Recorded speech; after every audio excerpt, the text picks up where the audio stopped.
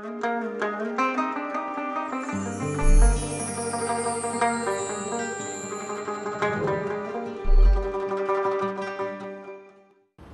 الله الرحمن الرحيم نحمده ونستعينه ونستغفره ونؤمن به ونتوكل عليه ونعوذ بالله من شرور أنفسنا ومن سيئات أعمالنا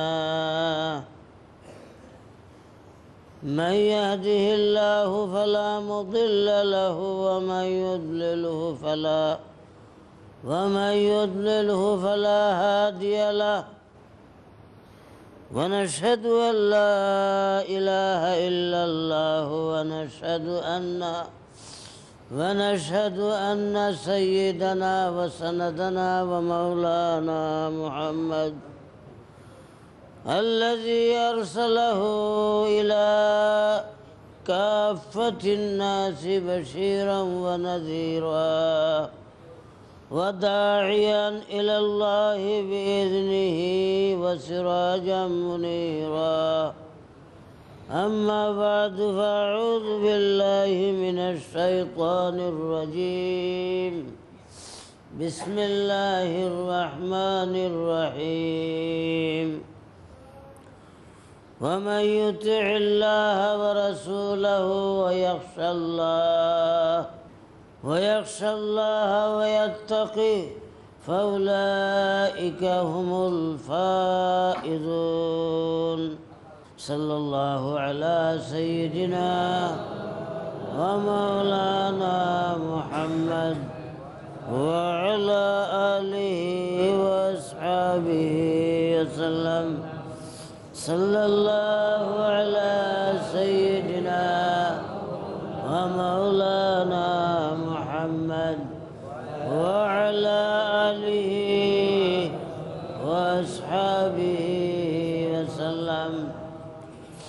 সম্মানিত মুসল্লিয়ান কারাম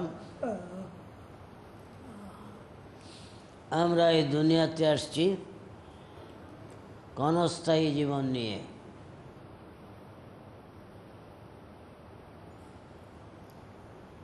আল্লাহ রব্বুল আলমিন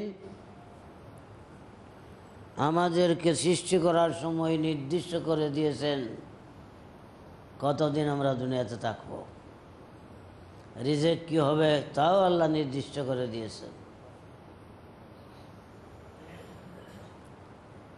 এই সময়সীমা যা আল্লাহ থেকে নির্দিষ্ট হয়েছে, এক সেকেন্ড তো পার হবে না। হুম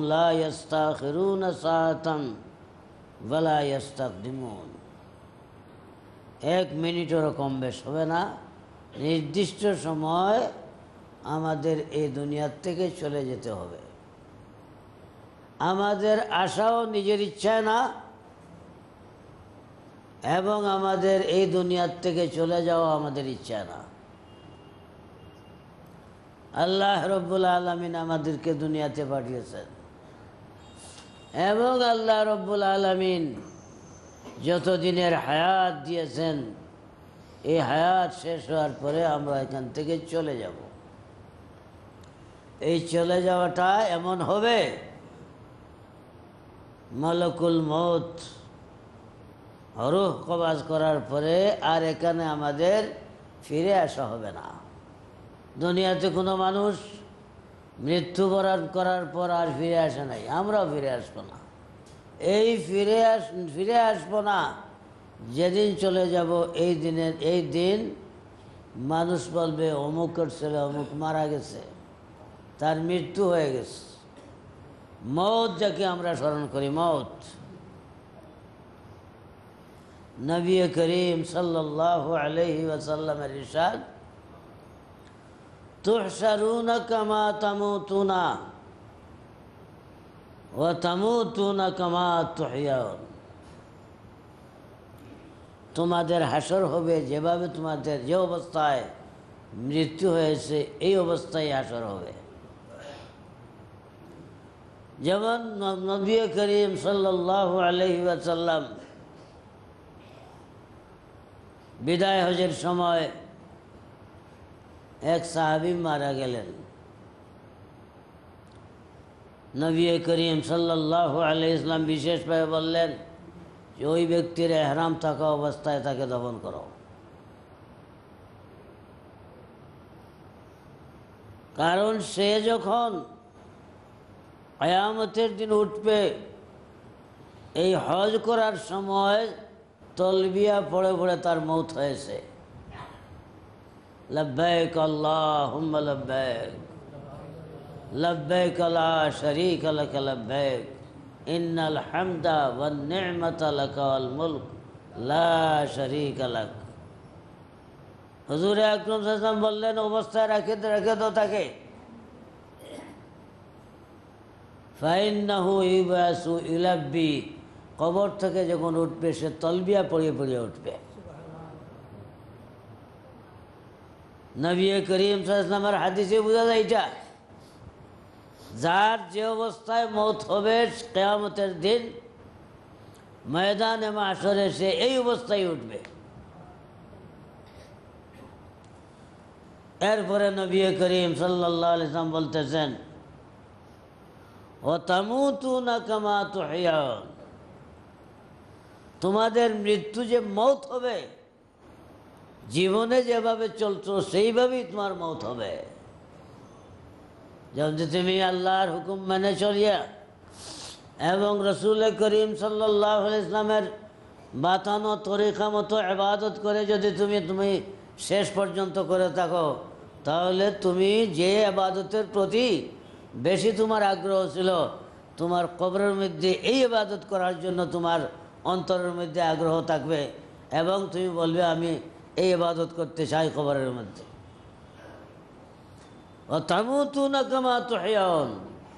দুনিয়ার থাকতে যেভাবে চলছো মৃত্যু তোমার এমনভাবে হবে। আর মৃত্যু যেভাবে হয়েছে হাসারের ময়দানে এমনভাবে উঠবে। বজুগান দিন থেকে হ্যাঁ, এই কথা এই কথা যে বলতেছেন যে আমাকে যদি প্রশ্ন করা হয় তুমি কোন আবাদত চাও কবরের মাঝে? তা আমি বলব এটা যে আল্লাহ আমাকে দুই দুই গজ জায়গা এবং একটা লোটার দরকার। অজু করবার নামাজ পড়তে থাক। আমার জানা জানা আছে এটা, যে একজন মানুষ আমাদের এলাকায়, সে আপনার হারমোনিয়াম বাজাইত। বাদ্যযন্ত্র বাজাইত। মৃত্যুর সময় মানুষ বলতেছে তলকিন করতেছে মুহাম্মাদুর রাসূলুল্লাহ। এবং তার হাসর হইতেছে, এদিকে খেয়াল নাই হাত দিয়ে বাজা বাজাইতেছে। এমন অবস্থায় তার মৃত্যু হয়েছে। মোহাম্মদুর রসুল্লাহ সাল্লাহ ইসলাম বলতেছেন তামো তু না কেমা তো যেভাবে তুমি দুনিয়াতে চলছো, এইভাবেই তোমার মৃত্যু হবে। তাই এই যে জীবনটা আমাদের, যে জীবনের পরিসমাপ্তি ঘটবে মৌতের মাধ্যমে, আমরা আখেরতের পথে যাত্রী হব কারণ আমাদের বিশ্বাস মুসলমান হিসাবে যে আমাদের জীবন শেষ জীবন না। এই জীবন শেষ জীবন না আমাদের। আমাদের চিরস্থায়ী জীবন সামনে মৃত্যুর পর মৃত্যুর পর আরম্ভ। চিরস্থায়ী জীবন। এবং চিরস্থায়ী জীবনে সুখ শান্তিতে থাকতে হলে কবরের মধ্যে টাকা পয়সা পকেটে নাই। কোনো কিছু নাই, এবং এরপরেও ময়দানে মাহসরে যে নবী করিম সাল্লাম বলতেছেন, সাত প্রকার মানুষ যাদেরকে আল্লাহ রব্বুল আলমিন আর শের ছায়ার নিচে দেখা দিবেন। নবী করিম আলিয়া এই যে আর আরশের নিচে নিচে জায়গা করো, নিজের আসনকে রিজার্ভ করা। আর আরশের ছায়ার নিচে নিজের আসনকে রিজার্ভেশন করা কের মাধ্যমে হবে? আমলের মাধ্যমে। কোটি টাকা দিলেও সেখানে একটা সিট পাওয়া যাবে না। টাকাও নাই, দিবেন কই থেকে টাকা তো থাকবে না, এটা তো মানুষের হয়ে যাবে টাকা। সেখানে রিজার্ভেশন হবে কের মাধ্যমে? আমলের মাধ্যমে। কোন জীবন কোন আমল, কবরের আমল না। এই জীবনের আমল যতদিন হায়াত পাইছি আমরা, এই হায়াত যতদিন আছে, এই হায়াত জীবনের আমলের মাধ্যমে। আর সর নায়ার নিচে। আর সের ছায়া তোলে আসন রিজার্ভ করা হবে এই এই দুনিয়ার আমলের মাধ্যমে নবী করিম সাল্লাল্লাহ বুখারী শরীফ হাদিস عن ابي هريره رضي الله تعالى عنه قال قال رسول الله صلى الله عليه وسلم سبعة يذلهم الله يوم لا ذل إلا ذله الإمام العادل ময়দানে মাস, কবরের পরে কোন জিন্দগি জীবন আমাদের? ময়দানে মাসের জীবন না, কবরের জীবনের পরে।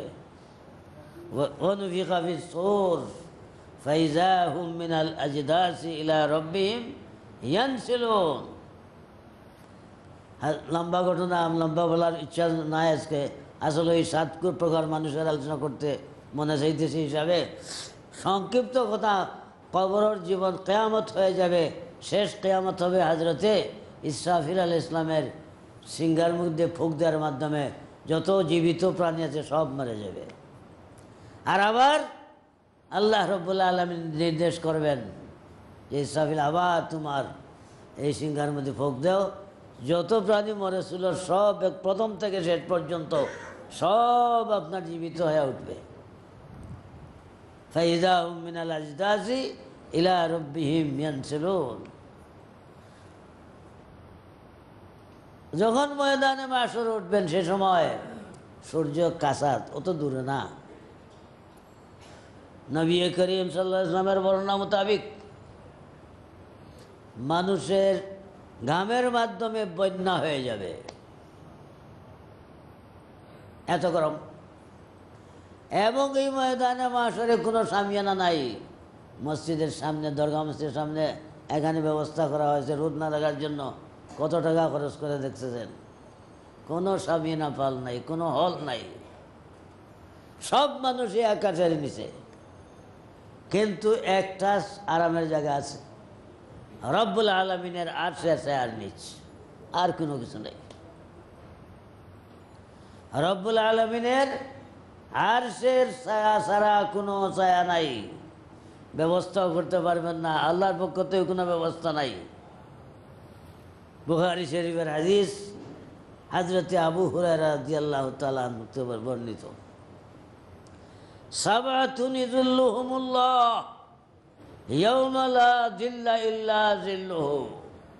সাত প্রকার মানুষ, এই সাত প্রকার মানুষকে আল্লাহ রব্বুল আলমিন ময়দানে মাসরে নিজ আরশের ছায়ার নিচে জায়গা দিবেন। প্রথম নম্বর বিচারক, ন্যায় বিচারক। ন্যায় বিচারক বলতে নবী করিম সাল্লাহ আলহিম বলতেছেন, আল ইমামুল আদিলু।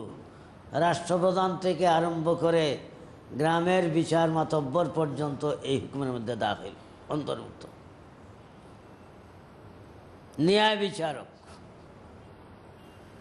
কোনো আত্মীয়তার কারণে না, ঘুষের মাধ্যমে না বরং বা নিজের অন্য কোনো প্রভাবের মাধ্যমে না, আল ইমামুল আদিল, যে বিচার করে আপনার একবারে ইনসাফ ভিত্তিক বিচার।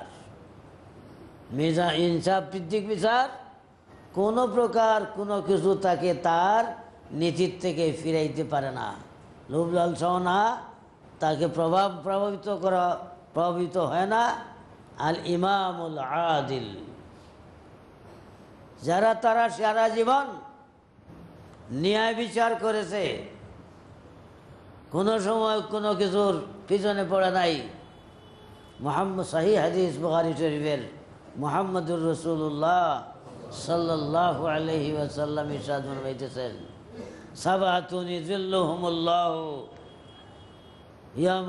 জিল্লা, আল্লাহর আশ্রয় ছায়া নিচে জায়গা পাবে। বর্তমান দুনিয়াতে আমরা একবারে গ্রামের মধ্যে গেলে শোনা যায় ন্যায়কে অন্যায় করে, টাকার মাধ্যমে ন্যায়কে অন্যায় করে ফেলে। আগে আগে আমরা কিছু দেখছি, গ্রামের মধ্যে সব ন্যায় বিচার হইতো, বর্তমানে খবর পাওয়া যায় না, ওইগুলোও আপনার টাকার পিছনে। সাহেব কাফের মাধ্যমে তার পক্ষে কথা বলে। যাকে মাতব্বর বানায় সে গ্রামের পঞ্চায়েত না, বিচারক না। আল ইমামুল আদিল ইনসাফকারী। যারা ইনসাফ করবে, এক ব্যক্তি না, যারা ইনসাফ করবে, বিচারের বেলায় কাল কাল কেয়ামতের দিন আরশের ছায়ার নিচে জায়গা পাবে। দুই নম্বর, ওই ব্যক্তিগুলা নবী করিম সাল্লাহ আলিয়াল্লাম বলতেছেন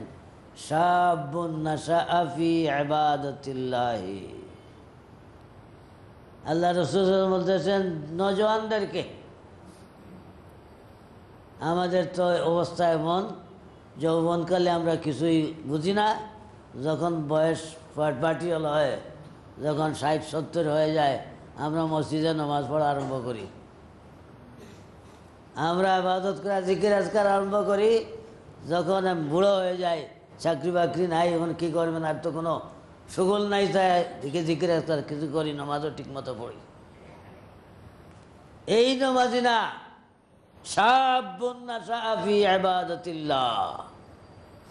ওই যুবক যে তার যুবক প্রথম থেকেই তার সে যে বড় হইতেছে, আল্লাহ রব্বুল্লা আলমিনের আবাদত করিয়েই বড় হইতেছে। বরং পরিশ্রম মুজাহাদার বিষয়, জোয়ানি অবস্থায় সঠিক পথে থাকা এই জন্য মোহাম্মদুর রসুল্লাহ সাল্লাম বলতেছেন ওই ব্যক্তি, ওই নজওয়ান, যে তার যৌবন থেকেই তার শুরু হয়ে গেছে আবাদত। আল্লাহর আবাদত সঠিক পন্থায় ঠিক মতো আপনার আল্লাহর আবাদত করিয়া শেষ পর্যন্ত বুড়া হয়েছে, তার মৃত্যু ঘটেছে।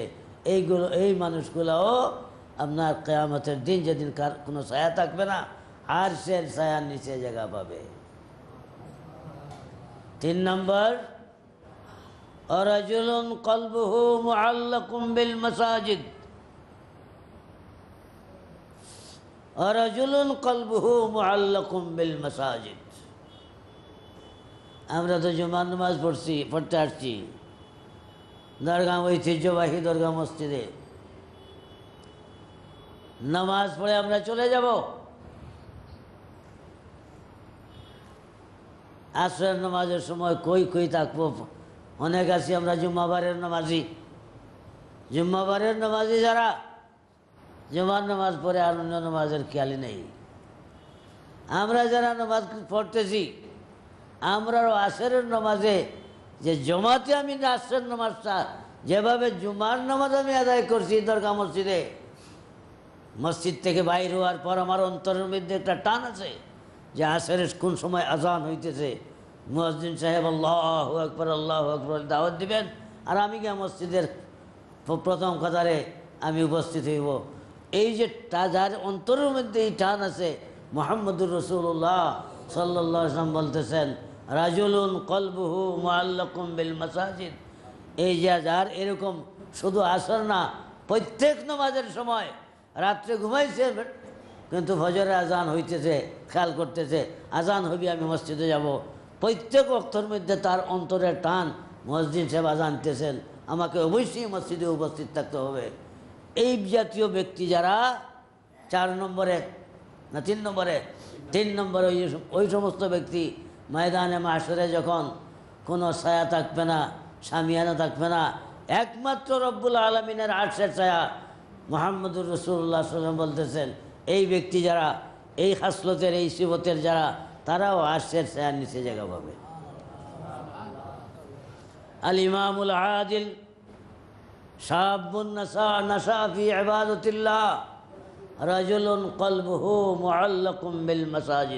তিনজন। চার নম্বরে মোহাম্মদুর রসুল্লাহ বলতেছেন, রাজুলানে তাহাব্বা ও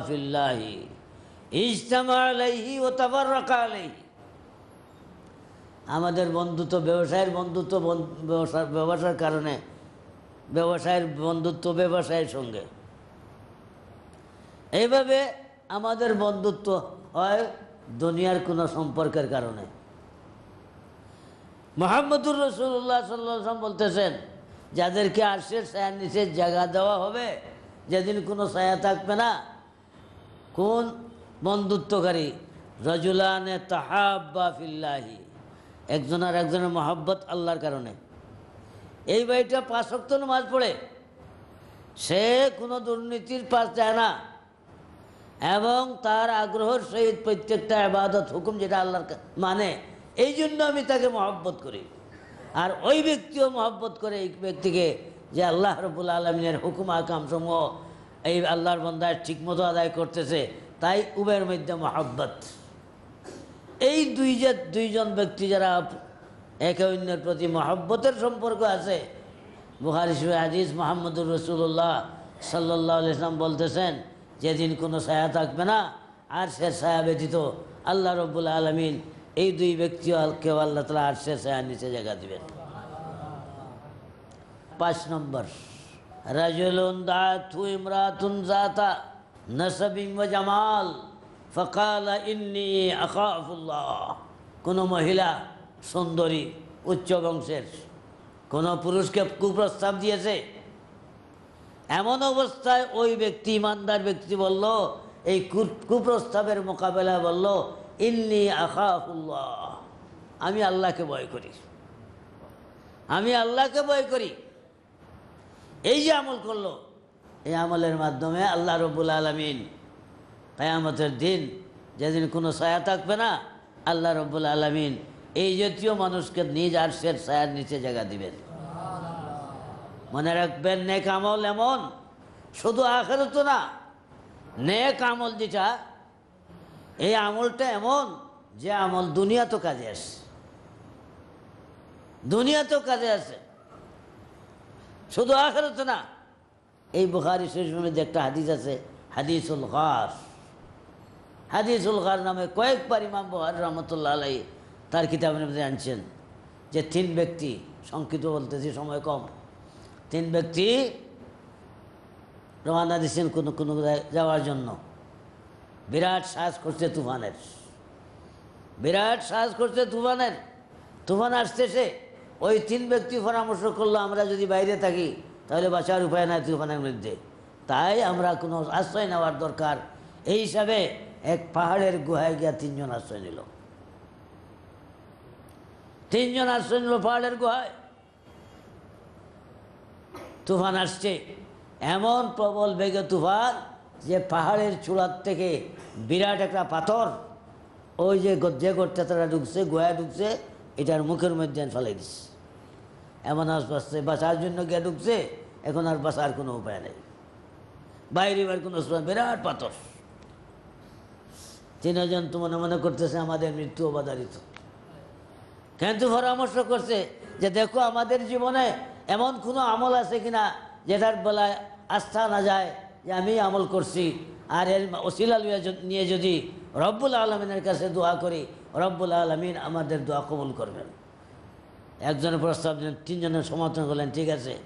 আমাদের প্রত্যেকের জীবনের নির্ভরযোগ্য আমল যেটার বেলায় আশা আছে, এমন আমলের ওসিলা নিয়ে আল্লাহর দরবারে দোয়া করি। হয়তো আল্লাহ রব্বুল আলমিন আমাদেরকে এই মহা বিপদ থেকে উদ্ধার করবেন। একজন বলল, একজন প্রথমে বলল যে আল্লাহ, আমি একটা আমল করছিলাম। আমার খেয়াল মতো এটা আমার একবারে খালিস নিয়তে করছিলাম। আমার মাতা পিতা বৃদ্ধ ছিলেন এবং আমাদের সন্তান সন্ততিও আছে। তাদের সবার আহার জোগানোর একমাত্র ব্যক্তি আমি ছিলাম। আমার অভ্যাস ছিল, খাবার নিয়ে আসতাম যতক্ষণ পর্যন্ত। আমার মাতা পিতাকে খাওয়াই নেই ততক্ষণ পর্যন্ত আমার নাবালিক বাচ্চাদেরকে আমি খাওয়াইতাম না। একদিন এমন হইল যে আমি আসতে দেরি হয়েছে। আসিয়া দেখি মাথা পিতা অবৈজন ঘুমাই গেছে। আর বাচ্চারা, ছোটো বাচ্চা বুকের কারণে, খিদার কারণে হাউমা করতেছে।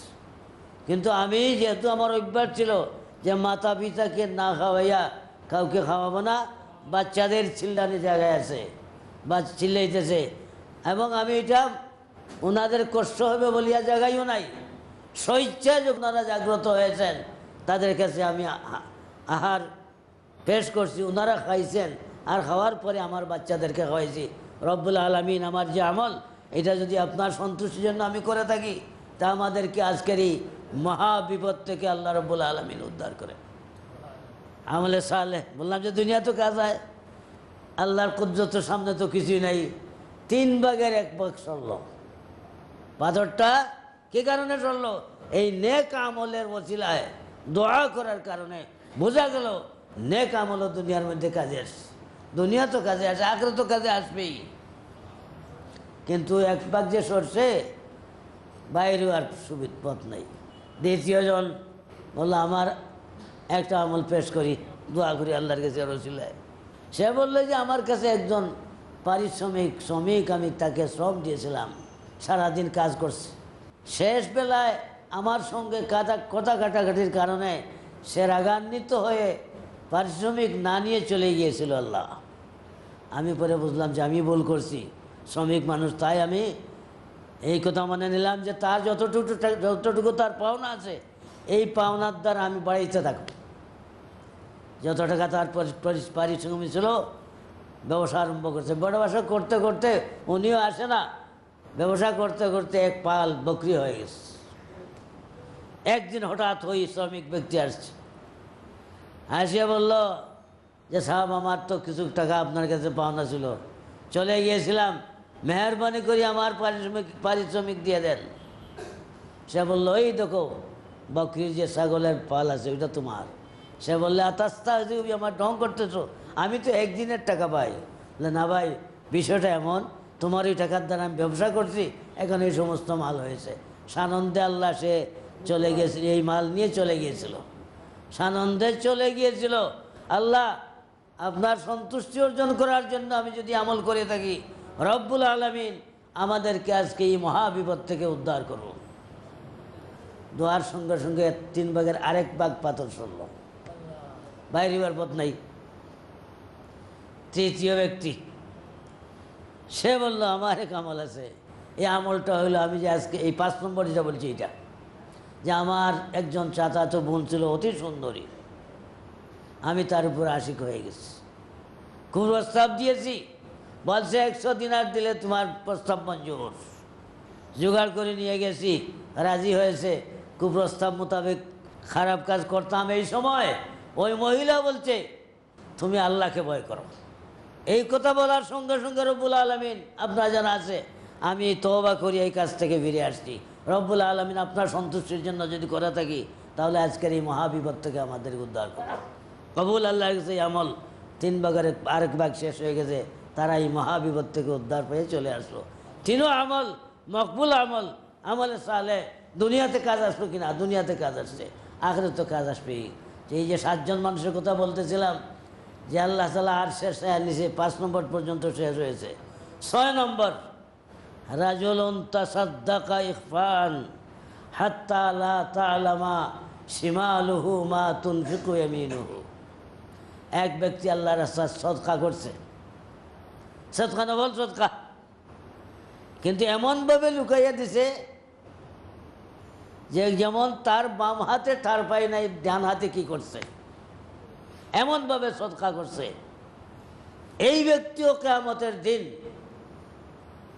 আল্লাহ রবুল্লা আলমীর আর্শের ছায়ার নিচে জায়গা দিবেন। এখলাসের নিয়ত কারণে। ছয়জন সে রয়েছে সাত নম্বর। সাত নম্বর ব্যক্তি যাকে আল্লাহ রব্বুল আলমিন আরশের ছায়ার নিচে জায়গা দিবেন, যেদিন আর কোনো ছায়া থাকবে না। রজলুন জাকার আল্লাহ খালিয়ান ফফাদত আইনা। রজুলুন জাকার আল্লাহ খালিয়া। এই ব্যক্তি নির্জনে বসিয়া, নির্জনে বসা অবস্থায়, লা ইলাহা ইল্লাল্লাহ, লা ইলাহা ইল্লাল্লাহ, সুবহানাল্লাহ, আলহামদুলিল্লাহ, জিকির করতেছে, একাকি বসিয়া, আর চাক চকুর পানি পড়তেছে, চকুর পানি পড়তেছে। রাজুলুন জাকার আল্লাহ খালিয়া, ফাফাদাত আইনাহু, তার বয়ে চোখ থেকে আল্লাহর বয়ে আল্লাহর বয়ে চকুর পানি পড়তেছে। মোহাম্মদুর রসুল্লাহ সাল্লাহ ইসলাম বলতেছেন যে, এই ব্যক্তিকেও আল্লাহ রব্বুল আলমিন ময়দানে মাসরে যেখানে কোনো ছায়া থাকবে না, রব্বুল আলমিন তার আরশের ছায়ার নিচে তাকে জায়গা দিবেন। আল্লাহ রব্বুল আলম জান শুনলাম, আমল করার তৌফিক দিন।